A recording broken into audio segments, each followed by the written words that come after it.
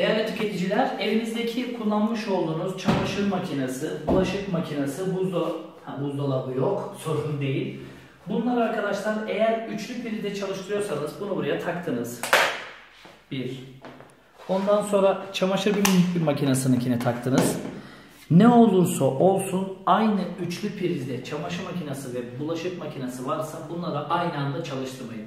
Birisi bitsin, birisi başlasın. Çünkü ikisi aynı anda başladığı zaman içindeki rezistans yüksek voltaj çektiği için bir de almış olduğunuz eğer üçlü priz 1 milyoncudan ucuz dandik bir şey alırsanız anlatabildim mi? Onun için yangın çıkartabilir. Üçlü prizlerinizi çok kaliteli seçin. Elinizden geldiği kadar üçlü priz kullanmayın.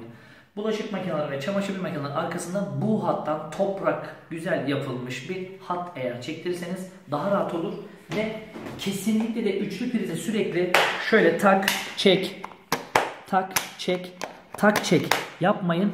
Eğer tak çek tak çek yaparsanız ne olur? Türk dilinde kötü bir cümle var. Yalama olur yani yalama. Ne olur? Şase yapar, ark yapar, yangın çıkartabilir.